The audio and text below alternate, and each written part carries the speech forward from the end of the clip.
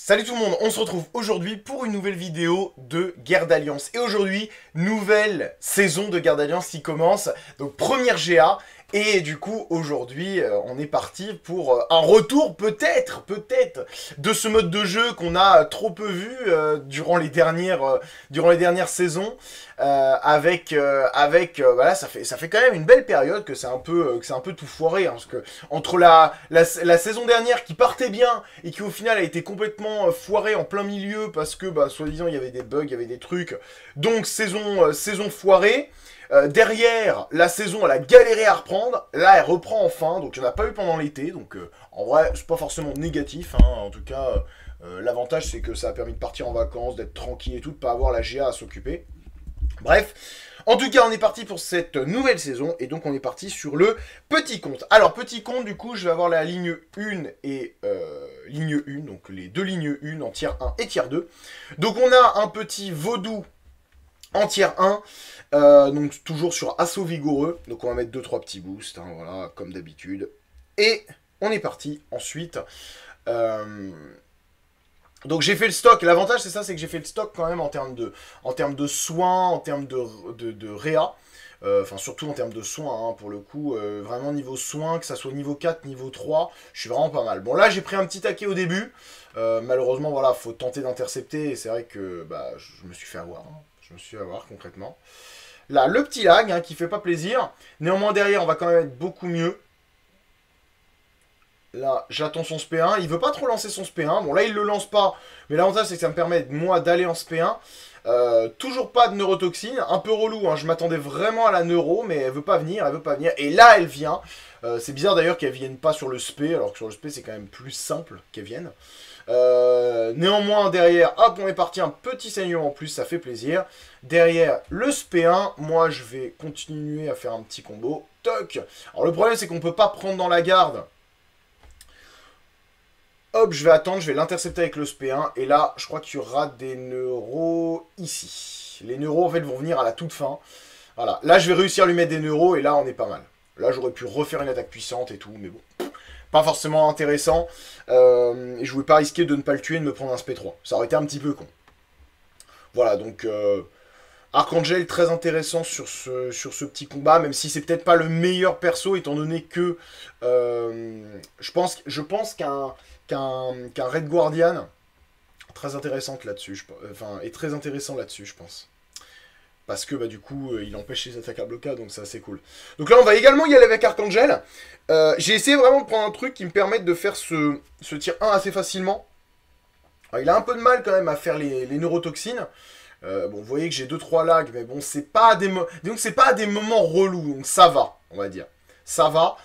Là, on active enfin de la neurotoxine, enfin, ça fait plaisir. Bon, on n'a pas eu de chance de mettre du poison. Là, on se prend un petit taquet. Voilà, j'étais un petit peu, euh, un petit peu euh, fébrile, hein, le petit coup avant. Euh, j'aurais pu m'en passer, clairement. J'aurais pu m'en passer. Là, je, alors là, je pensais qu'il y avait un étourdissement qui allait dépop et que le deuxième allait prendre le dessus. Malheureusement, bon, ça n'a pas été le cas. Donc un petit peu déçu. Hop Là, derrière, on va mettre du poison. Hop, l'attaque puissante, malheureusement pas de euh, pas de neuro.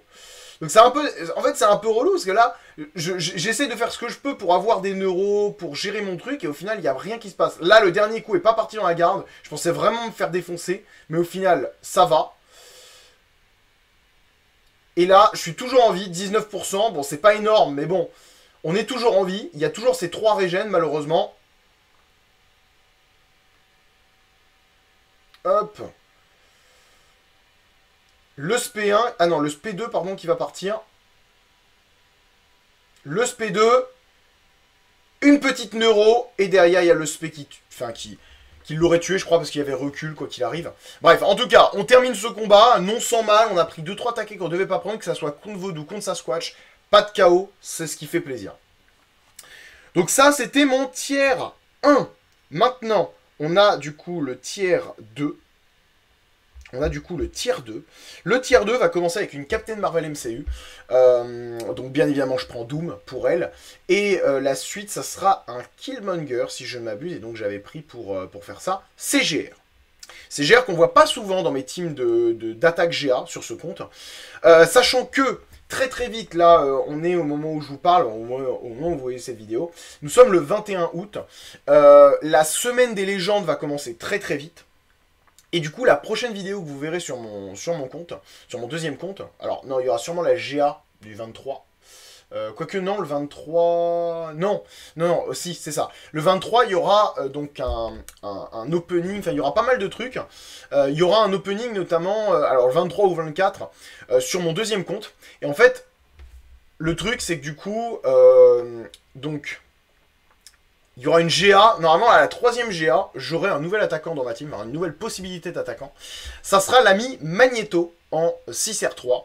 Euh, car de toute façon, car là en gros dans ma def il y a euh, Red Goblin, donc il va passer R3 là euh, dans bah, dès qu'on a dès a la semaine des légendes, parce que vous savez la célébration des légendes, il y a un bout de 20% d'or. Et comme je suis en galère d'or sur ce compte, voilà, j'ai pris les récompenses du Summer of Pain, mais je ne les ai pas ouverts. J'ai pas ouvert mon, mon, T, 5 c enfin mon, mon Crystal Nexus Tech. J'ai pris les T5C, Mutant Cosmique, comme je vous avais dit. Hein. et du coup, bah là, je vais, je vais du coup le je vais du coup l'ouvrir, euh, enfin je vais du coup ouvrir ça quand je vais être en... en enfin quand, quand, il y aura la célébration des légendes et que j'aurai pu ouvrir du coup tous les, tous les cristaux euh, d'or avec.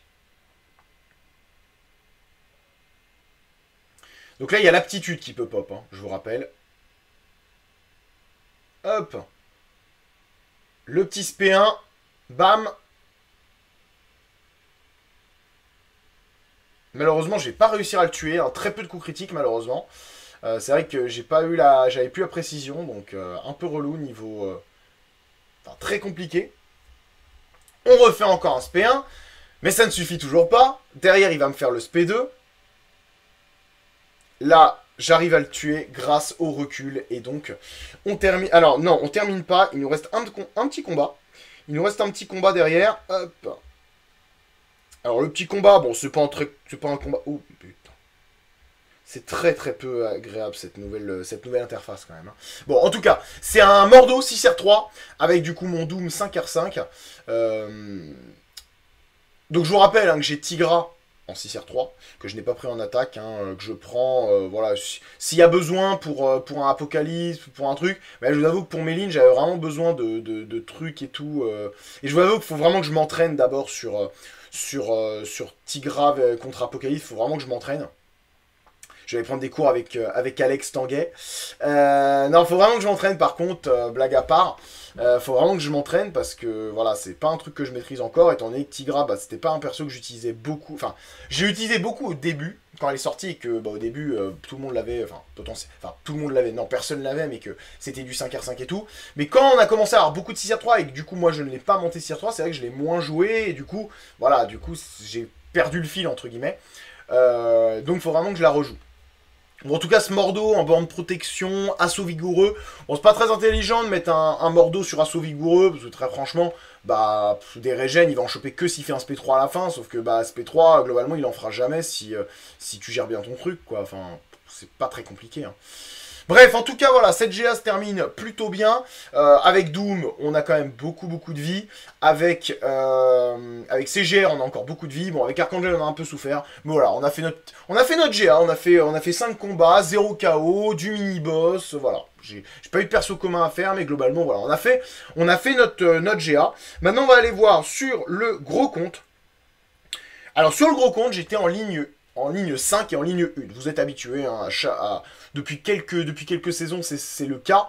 Donc là, je mets quelques petits boosts, hein, j'en ai, pas mal, surtout que j'ai ouvert des cristaux, euh, des cristaux qui me permettent de booster euh, quand j'ai fait mes... mes quand, enfin, quand j'ai fait mon, mon Summer of Pain. Et comme au moment où je vous parle, j'ai fini mon Summer of Pain. D'ailleurs, n'hésitez pas à aller voir l'autre vidéo sortie ce soir, à savoir le... le la vidéo, enfin il y a même deux vidéos sorties ce soir. Il y a vidéo sur Gamora, n'hésitez pas à aller la voir, hein, ça fait toujours plaisir. Et n'hésitez pas également à aller, la à aller voir la vidéo euh, de Summer of Pain, Summer of Pain numéro 5 du grand final, avec du coup l'ami euh, Sentinelle. Voilà, j'ai refait la ligne, euh, pour ceux qui avaient suivi le live, j'ai refait la ligne où j'avais fait le misclick à la fin. Bon, cette fois, il n'y avait plus le bug, donc vous allez voir que ça s'est quand même beaucoup mieux passé sur le grand maître. Alors, sur la ligne de mémoire, ça s'est pas forcément mieux passé. Peut-être qu'il y a eu des meilleurs runs, ça s'est peut-être mieux passé au final.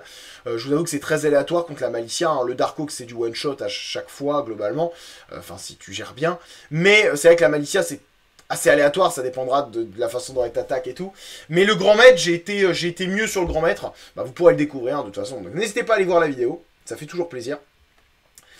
Euh, voilà. Et donc demain, il y aura l'opening Summer of Pain 100%. Euh, et il y aura également du coup le, Summer of Pain numéro 6 avec un perso un petit peu spécial. Vous allez voir. Euh... D'ailleurs, n'hésitez pas dans les commentaires à me dire qui vous pensez euh, que je vais utiliser sur ce dernier chemin de, Summer of Pain, le perso mystère. Donc là, en, tout cas, on est sur une ligne 5, bon, à consonance très virtuose, à consonance très purification.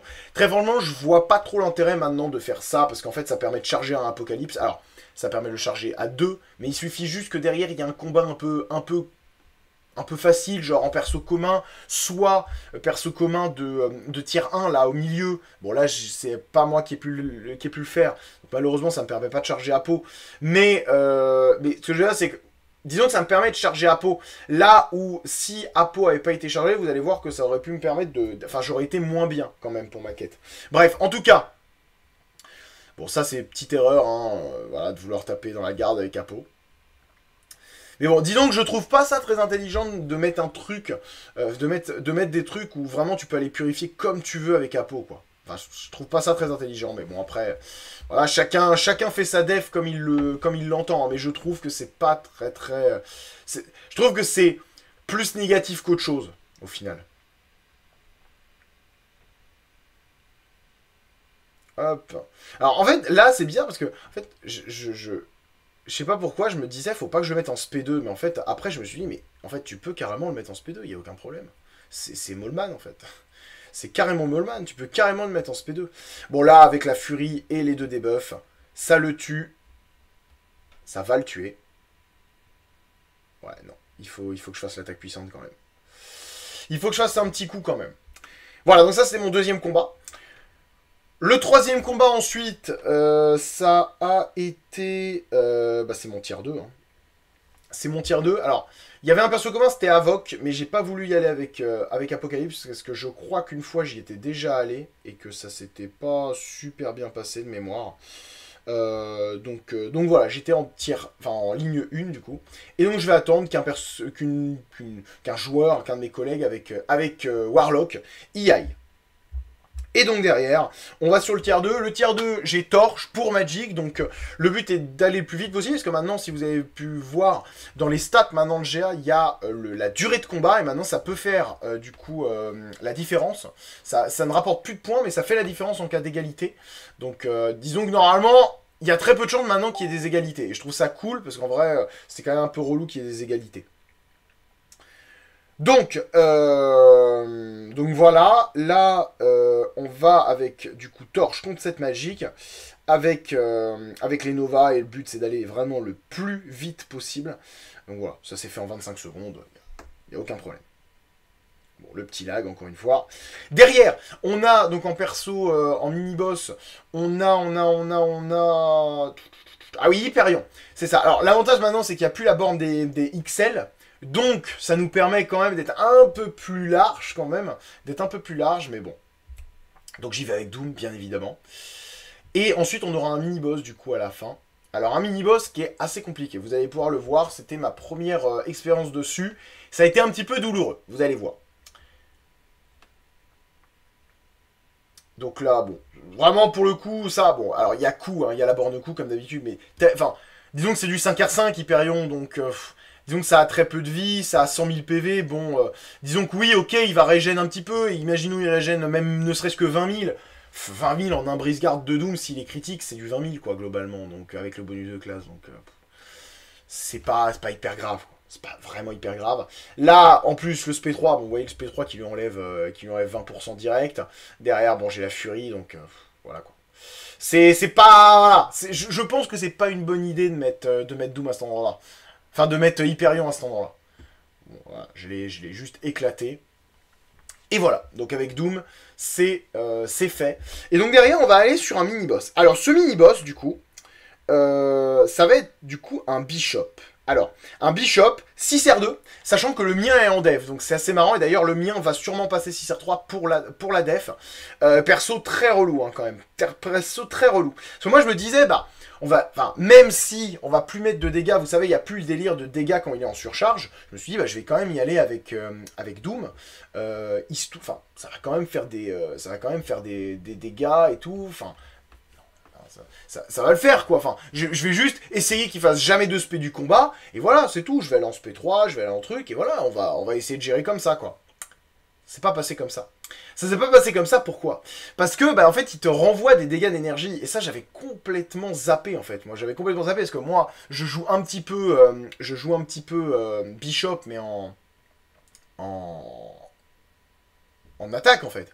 Et genre, ça, je me rappelais plus du tout. Et là, vous voyez que j'ai pas pris un coup, j'ai pris deux fois plus que lui en termes de dégâts. Regardez, regardez les dégâts que je prends, là. Je prends 500 parties, par-ci, par-là, là. Et je me dis, mais... Sérieux? Et là, à ce moment-là, je me suis dit, bon, euh, ça risque d'être compliqué. Donc, on va essayer de lui enlever le plus possible. Et bon, déjà, là, à ce moment-là, bon, il y avait l'indestructible. Là, on, on, lui fait le SP1. Mais voilà, très rapidement, je me dis c'est mort, quoi. Enfin, vous voyez, là, bon, voilà, je prends des, je prends des vies vraiment en continu, c'est... C'est horrible, quoi. Au moins, l'avantage, c'est que maintenant, je ne ferai plus l'erreur. Voilà, je ne ferai plus l'erreur. Là, vous voyez, regardez, regardez mes vies. Regardez mes vies quand elles filent. C'est n'importe quoi. Enfin bref, au moins, au moins, maintenant, j'ai fait ma, j'ai fait ma boulette. Voilà, je me, franchement, je savais même pas du tout que ça allait faire ça. Franchement, je, disons que ce côté je, connaissais les 2-3 trucs défensifs, les 2-3 nouveaux trucs défensifs de Bishop. Je sais très bien qu'il faut pas le mettre. Faut pas, faut pas genre qu'il te tue avec son SP3, par exemple. Ou qu'il te tue avec son SP2, sinon il va direct à ton SP2. Je le sais, ça, vous voyez, par exemple. Mais Disons que ce côté défensif, vous voyez là je cherchais dans les compétences, et c'est une petite ligne à la fin qui te dit que si tu prends des dégâts, enfin ici il y a un debuff de dégâts d'énergie, et bah à chaque fois qu'il y a une prouesse qui part, je crois, et bah, enfin c'est un truc comme ça, je sais plus. Attendez, c'est après là, c'est réaction de debuff, voilà. Chaque, c'est, euh, non, c'est après, surcharge de pouvoir, c'est après. Lorsqu'il. Voilà, c'est ça. Quand il a plus de 30 prouesses et qu'il endure euh, ou qu'il endure saignement, décharge ou incinération, il surcharge et commence à consumer ses effets de prouesse personnelle, un à la fois, s'accélérant selon la durée de surcharge, et s'il endure un debuff ou une passivité de saignement, décharge ou d'incinération, chaque fois qu'il consume une prouesse de cette manière, il inflige 517 à son adversaire. Et donc voilà, c'est ce que j'ai pris, en fait, je prenais 517, donc pour le coup, il n'y a, pas de, a pas de triche, il n'y a pas de truc, euh, c'est totalement legit. Donc là, disons que je vais, maintenant, je sais que j'irai avec Apocalypse dans ces cas-là, euh, j'irai carrément avec Apocalypse, le but étant de, euh, bah de, lui, défoncer sa gueule, vraiment, de lui défoncer sa gueule. Euh, sachant que l'avantage d'Apocalypse, c'est que je n'ai pas de debuff. Si, j'ai des buffs de saignement. J'ai le dé... Merde. Ah oui, c'est vrai qu'il y, avait eu un petit bug. C'est vrai. Et du coup, ça avait... C'est vrai que j'avais zappé ça. Et du coup, ça n'avait pas permis de, garder mes boosts. Et donc là, le but avec Apocalypse, c'est globalement... le, but, ça va vraiment être de, de d'aller le plus vite possible pour lui défoncer sa gueule, quoi. Donc là, je vais mettre un, je vais mettre un boost de, puissance pour aller, euh, pour être vraiment euh, direct dedans, quoi. Donc là, vous allez voir le combat, je vais essayer de le faire le plus vite possible. Alors, là, comme vous pouvez le voir, il a son SP indirect. J'ai ma petite régène qui fait plaisir quand même. Hein. Vive, la compétence spéciale d'Apocalypse quand même. Alors là, vous voyez, tout con.